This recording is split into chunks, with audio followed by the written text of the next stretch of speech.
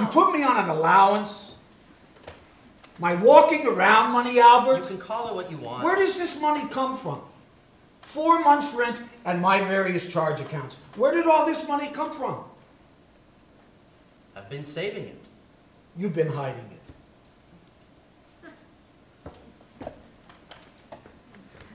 This cupboard is all soup.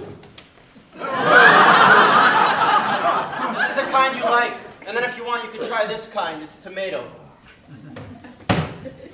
This has new batteries. Thank God for that. I will sleep soundly.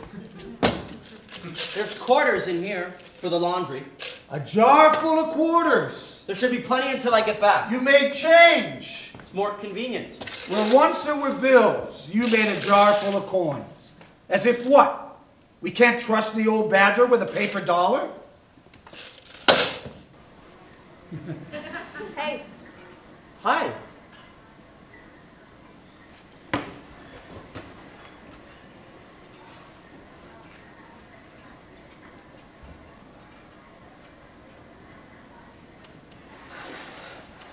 I can't eat this. You snore. excuse me? You fell asleep in class on Tuesday? I haven't been able to concentrate since hearing you snore through Spencer's lecture. That's three days ago. Why? I know what you sound like when you're asleep. That seems unfair, like I've seen you new, which, which, I would like to hear that sound again under different circumstances.